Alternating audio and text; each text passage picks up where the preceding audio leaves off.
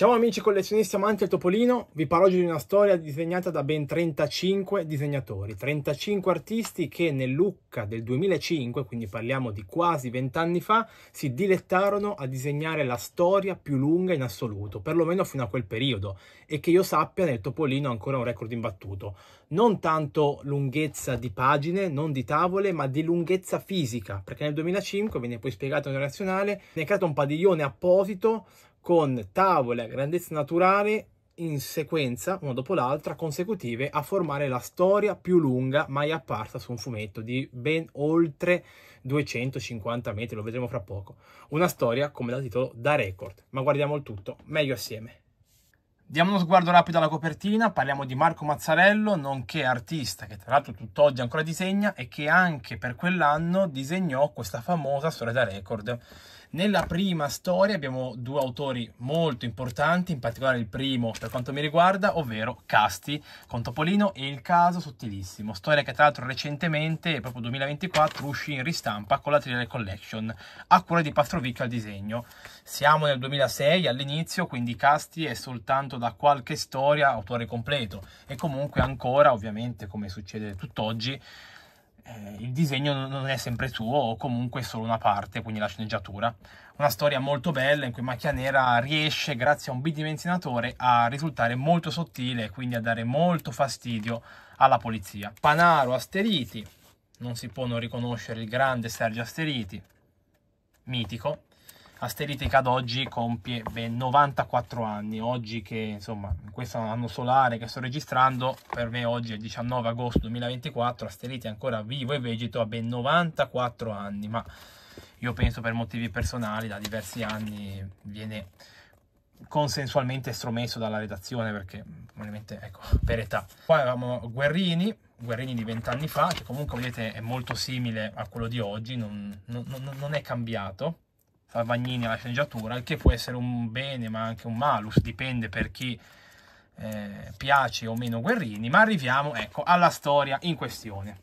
Scusatemi la lunga premessa, ma per contestualizzarvi un po' dove eravamo. Un topo record, ecco, oltre alla storia avevamo un redazionale di circa 5-6 pagine che per me rende ancora più interessante la storia stessa, perché io rimango sempre molto affascinato dalle foto per me una delle invenzioni più belle che l'uomo ha potuto sperimentare e vivere negli ultimi secoli è la fotografia, perché la foto cristallizza dei momenti. E guardate per esempio vent'anni fa come erano giovani certi autori. Abbiamo qui Alessio Coppola, Silvia Ziche e eh, Turconi, Stefano Turconi, che tra l'altro quest'ultimo ormai pare essere scomparso dal Topolino per eh, motivi personali, insomma per progetti indipendenti. E poi ci sono altri autori che però ometto di, di riconoscere dai volti, probabilmente questo senza capelli potrebbe essere Pastrovicchio, non lo so, oppure di Ippolito anche, perché poi compare dopo. Insomma, un tal Aldo Carrier, che anche qui non so bene chi sia, ma pare che al tempo fosse l'art director eh, di, di, di, Topolino, o comunque della serie Disney, ebbe un'idea quella di realizzare la storia più lunga, tra l'altro fatta sul momento, quindi creata appositamente eh, in live, io presumo in diretta, no?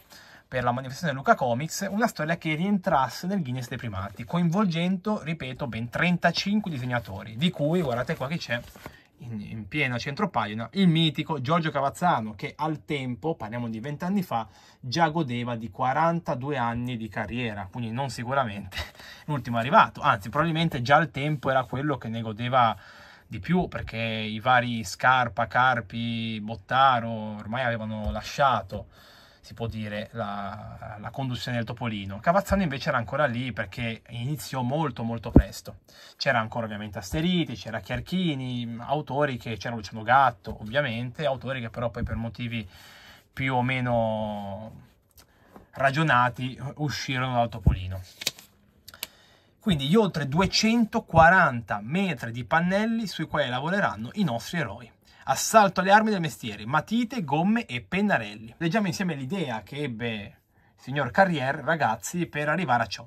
Entrare nei Guinness dei primati ha richiesto una lunga preparazione, inventare la storia, farla sceneggiare, chiamare i disegnatori, inviare a ciascuno il riassunto della trama e la descrizione delle vignette per poter preparare i bozzetti. Per gli artisti è stata una grande fatica disegnare in piedi e su fogli in formato gigante. Grazie ai volenterosi che la sera prima della sfida hanno attaccato per ore insieme a me i fogli da disegno sui pannelli. Eh, devo dire che fate, fate, riferimento a quanto è la dimensione qui su Cavazzano rispetto a, al foglio, oppure ancora qui, signor Carriere insieme ai fogli, eh, da lontano capite bene quanto fosse grande, anche disegnare in tutto ciò non era per nulla facile. Ecco, penso che i disegnatori fecero una fatica non indifferente pensare di disegnare in un formato così grosso, perché sì che il topolino è troppo piccolo, ma la tavola solitamente è in formato A3, non più grande, se non per richieste particolari, che poi viene scannerizzata e rimpicciolita per eh, stare nel brossurato. Ma così grande non so se questi autori mai sperimentarono di farlo. Qua per esempio abbiamo Coppola, uno dei pochi che riconosco perché è uno dei pochi che pure vidi eh, di persona. Eh, che bello, insomma, una bellissima esperienza. Da un record all'altro, ricordando che comunque qualche anno prima, nel 97, già Topolino entrò nei Guinness dei primati perché con la storia Topolino Ino Ino che non ricordo bene di chi sia, ma mh, già la portai sul canale.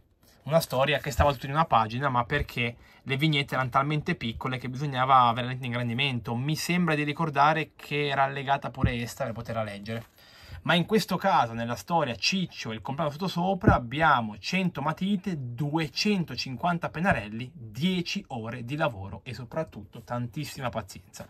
Questi protagonisti, sceneggiatori Radice, Savini e Vitaliano, ma ovviamente il fiore all'occhiello sono i disegnatori, che non vi cito tutti, ma soltanto i più importanti, o meglio, chi vent'anni fa era già importante, ma che poi diventerà un maestro nei, nei prossimi venti.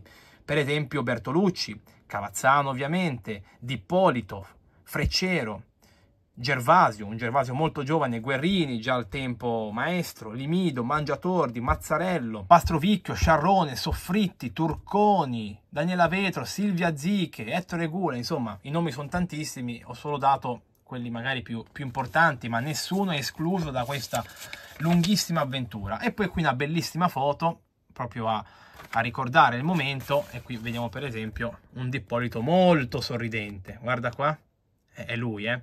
Qualcuno si riesce a riconoscere, per esempio Gervasio, molto giovane, eh, 20 anni fa ragazzi, è inutile, quando passano 20 anni ci si rende conto che il tempo è passato, me ne rendo conto io quando ne passano 2 o 3, figurarti quando ne passano 20, io 20 anni fa non ricordo cosa facessi, ma loro sì, 20 anni fa si ricorderanno benissimo questa esperienza, erano già molto più che lucidi.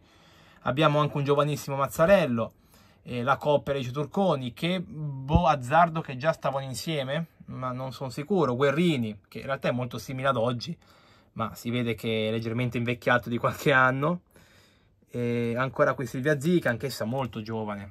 Eh, per chi la vede adesso può, può dire che 20 anni ecco, sono passati anche per lei. E, ecco, non riesco a vedere, se questo qua è Freccero, ma non penso sia Freccero questo, questo signorotto, non lo so anche, anche, questo mi dà delle emozioni da SF, non lo so, mi sembra anche lui freccero. Ecco, non sono per nulla bravo io con, con le facce, sicuramente facendo un fermo immagine il più pulito possibile molti potranno avere un'idea più chiara e magari da sinistra verso destra, ecco, darmi un, un suggerimento o dare a tutti un suggerimento, perché qua eh, ci sono una buona parte di quelli prima citati. Ci sarà anche Sciarrone, ma non so dove sia, a meno che sia lui. E mica lui Sciarrone, vediamo un attimo eh, avevo visto un'immagine con, con quell'uomo dai lunghi capelli, ecco questa, ma non è Sciarrone, o oh sì? Boh, questo qua dietro, vabbè comunque, lascio a voi il commento per chi anche vent'anni fa aveva visto questi grandissimi maestri. E poi abbiamo appunto qui la, la signora Mary Hill che arrivò di persona, presumo come affiliata del Guinness dei primati, quello statunitense, per consegnare il famoso premio, il certificato che hanno vinto con ben 242,45 metri. Wow! E cosa accadde poi di lì a qualche mese, da Luca 2005 eh, passarono un po' di mesi, arriviamo a febbraio, 7 febbraio 2006, la storia venne stampata, non so come, in realtà secondo me viene rifatta, perché pensare che la storia... Eh, venisse scannerizzata e rimpicciolita la vedo un po' difficile, a meno che utilizzarono boh, uno scanner, non lo so, A1, a, A0, da quanto è grande, ma presumo che l'abbiano rifatta. Boh, ho queste impressioni, magari nei commenti ditemelo perché purtroppo non ci sono grandi riferimenti e neanche riferimenti ai disegnatori pagina per pagina. Comunque la storia l'abbiamo qua e la cosa simpatica è in teoria ogni pagina o comunque un gruppo di vignette rappresenta un disegnatore, cui purtroppo però non sappiamo bene chi e di cui io mi asterrò da dare nomi perché potrei fare una gaff dopo l'altra. Sarebbe stato carino se avessero messo un, un'indicazione a capire chi è effettivamente disegnatore perché io non li so riconoscere di vent'anni fa. Eh, vent'anni eh, fa vigeva un po' il tratto la qualunque, mi viene da dire, i vari Freccero, Mastantuono, Faccini, disegnavano tutti un po' in scia di Carpi, mi viene da dire, molto bello, un tratto molto bello, provavano ad essere come Carpi quantomeno, mm, ma non ancora iconico come adesso, ecco, sicuramente se ci fosse il Faccini di adesso, vent'anni fa, eh, si riconoscerebbe il Mastantuono, che comunque due autori che mancano, ma già al tempo c'erano, eh, ma lo stesso Freccero, Sciarrone, mm, non, non, ve lo so dire, e poi comunque anche altri autori un po' secondari che onestamente non, non saprei riconoscere il tratto. Oltre a ciò c'è questo metro che compare a bordo pagina e che ogni tanto ci aggiorna di quanti metri siamo. Per esempio, dopo, in questo caso sul Topolino, 10 pagine, nella realtà col pannello saremo già arrivati a 63,5 metri. E sul finale dovremo avere il numero esatto. Ecco qua 242,95 metri. Viene anche fatto poi questa lavagna finale con tutte le firme dei disegnatori. E da qui li possiamo notare, qualcuno in maniera più evidente, qualcun altro un po' meno, perché c'è chi preferisce scarabocchiare e io purtroppo non, non sono capace, ma Cavazzano lo conosciamo perché è sempre lui, poi qualcuno più facile come Rigano, Barbaro, Gervasio, abbastanza iconica anche la sua firma, è tuttora quella presente di oggi. Freccero è questo? Eh, sì, mi sembra, no, questo è, ah, questo è Teresa. Vediamo se trovo quella di Freccero perché dovrebbe essere anch'essa abbastanza... Mettiamo un po' fuoco. Abbastanza riconoscibile, ma non la trovo... Eccola qua. Sì, ah, metteva, metteva là, ora non la mette più là.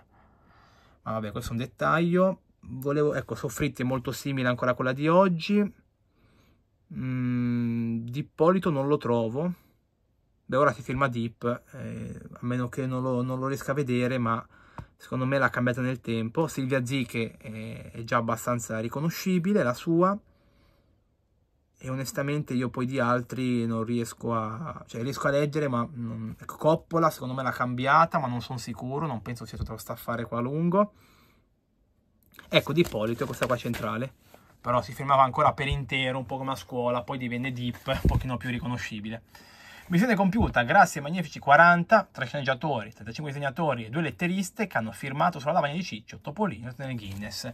Ma arriviamo alla storia, perché comunque se eh, venne concretizzato un record è perché alla base i disegnatori hanno disegnato una storia, tra l'altro, ripeto, molto lunga e anche fitta di dialoghi.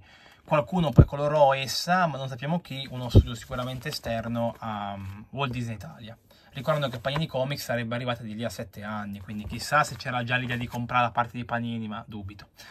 Comunque, Ciccio è protagonista del titolo e protagonista relativamente anche della storia, perché è il suo compleanno, però sottosopra. Per quale motivo? Ve la faccio breve, perché la storia è piena di esempi, cerco di dirveli un po' in maniera superficiale, ma insomma, tante gag eh, Archimede decide di fare una, una, creazione, guarda caso, sente annoiato, mm, crea qualcosa, una cosa che però sembra essere uno scambiatore di polarità.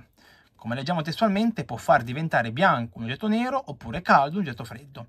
Probabilmente eh, non serve a niente, ma ormai l'ho inventato. Quindi Edi infila la spina e nel momento in cui Edi infila la spina per attaccare questo scambiatore di polarità, Paperopoli cambia letteralmente colore, tra virgolette, sicuramente umore e carattere, perché ogni personaggio papero che conosciamo, ma non solo i paperi più importanti, ma anche eh, i cittadini, anche il sindaco, i bassotti, cambiano letteralmente comportamento.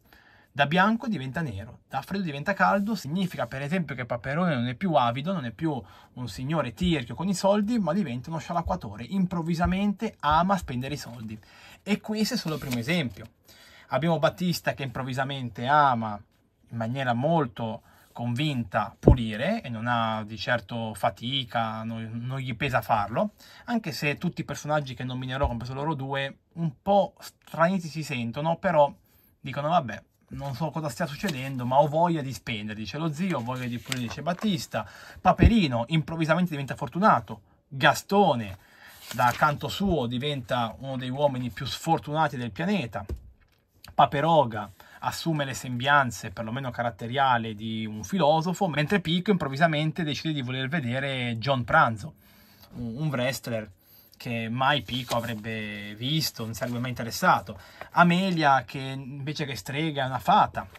Nonna Papera che negli ultimi tempi non riesce più a cucinare una torta. Ciccio che si sta mettendo a dieta. Ma per esempio anche a scuola i professori non vogliono insegnare nulla ai ragazzi e quest'ultimi vogliono studiare, cosa che solitamente non è proprio così, anche se dovrebbe essere, ma insomma, si sa, lo studente non sempre ha voglia di studiare. In questa storia sì, il vicinino di Paperino, che è un po' strano, eh? non è né Anna né Mr. Jones, non so perché fecero così, ma insomma, vuole arrivare a patti con Paperino stesso, tanto che vorranno guardarsi la partita e né uno né l'altro ti fa per la sua squadra, ma ti fanno per un pareggio a reti inviolate, naturalmente. Persino il sindaco, come vi anticipavo, addirittura davanti a tutti dice ma forse non mi merito il, il, mio stipendio che ho visto che non faccio niente. Ma, ma come? Un sindaco dice così strano. I giornalisti invece che riportare la notizia rimangono un po' scettici dicono vabbè ma sì forse siamo giornalisti ma possiamo questa notizia evitarla. Per quanto importante possiamo evitarla. È incredibile. Abbiamo pure Paperina che di colpo diventa una superstar o comunque qualcuno di molto snob. I Bassotti che non sono più tali ma sono diventati poliziotti. Brigitta che si ritrova a essere innamorata a pezzo di Rockerduck insomma questa è la faccia di Archimede. Un Archimede che anche lui è colpito perché Archimede rimane fermo in un momento della sua giornata col suo bolide e non riesce a ripararlo. Insomma, come andrà a finire? La chiave di tutto ciò sarà Edi.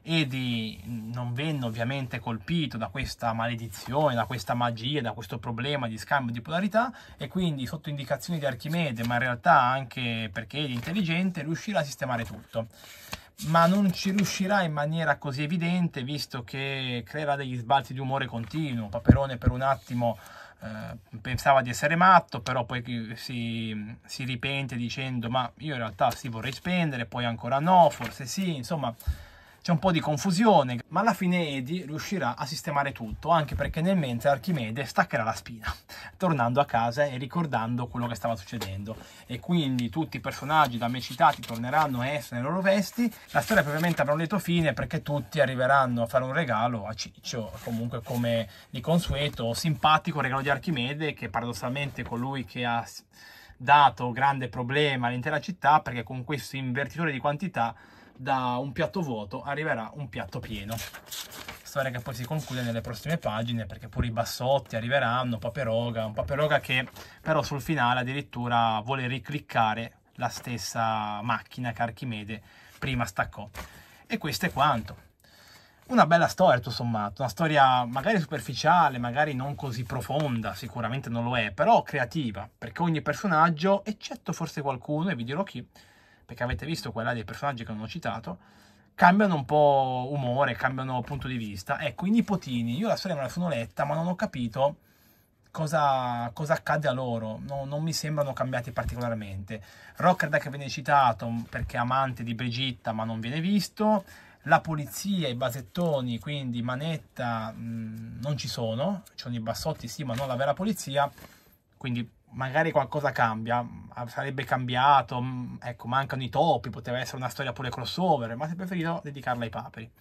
Chissà, chissà che un domani, proprio perché no, per il Lucca 2025, sarebbe un coronamento, no, vent'anni dopo, si potesse realizzare la storia di qualche metro più lunga, magari a tema topi a questo punto, oppure crossover, ecco, lasciatene lo stesso. La posta del cuore, concludeva così l'albo, roba da pazzi, votate la storia. Eh, guardate, con un sms al numero, questo non me la ricordo. Wow. Chissà, beh, e poi cosa ne sarebbe stato di, di, di questi sondaggi, visto che sì, c'era già il sito, ma chi è che andava sul sito a vedere poi i risultati? Non penso nessuno. Gli abbonamenti, ma però poi alle Olimpiadi. e poi nient'altro, eh, ah, il Re dei Pasticci, serie che ancora oggi a volte va avanti, grazie a Faccini, vedete, Faccini già era abbastanza riconoscibile, vent'anni fa questo, e poi la classica pubblicità finale con tutte le suonerie che potevano essere comprate nel telefono, questi io me le ricordo, non comprai mai nulla, ma ricordo che per qualche motivo volevo avere qualcuna di essa, perché comunque al tempo questo era il massimo della tecnologia che, che poteva darci. Bene, questo era l'albo, un albo comunque per me dei grandi ricordi, ecco, per quello che ho visto nelle nazionali, per quello che usciva, per gli autori presenti, per un cast che tra l'altro non c'era nella storia lunga, ma c'era nell'albo agli inizi, ben 19 anni fa, e per tantissimi autori che oggi sono maestri, primari o secondari, ma che già 20 anni fa operavano. Ci ho detto, vi ringrazio, vi saluto e spero che un domani quella storia, questa storia di ben 200